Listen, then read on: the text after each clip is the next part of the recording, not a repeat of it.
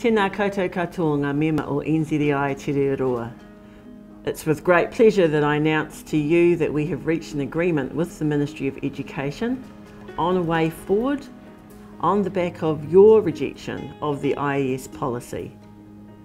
This agreement is a win for members and especially a win for our kids because the framework agreed to is going to focus on grassroots up, it's going to be flexible and comprehensive.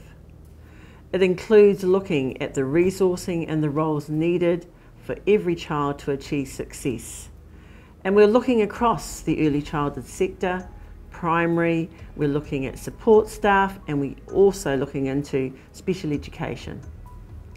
NZEI asked from the outset that genuine discussion be had around collaboration, around career pathways, and around transitions.